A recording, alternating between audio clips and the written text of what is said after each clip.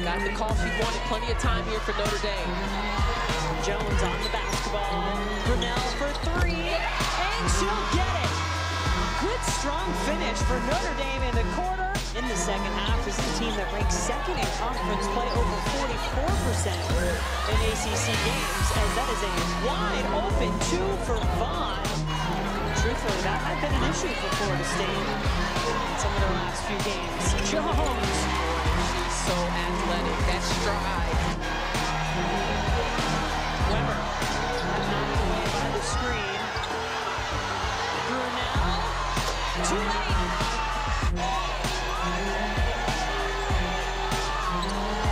Third of the game. Sneezik trying to break it and does.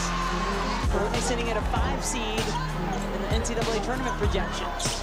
Important possession. And this is where I would go. The isolation for Kiah Gillespie. No brainer.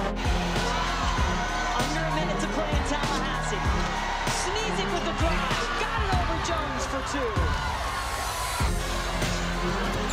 Ekhomu will take it. She was fouled. And it was a three-point attempt. Gilbert got into the upward motion of Ekhomu. Oh, Florida State could drop out of that top four. They could drop to five with their loss in some other scenarios. If Boston College is able to get a win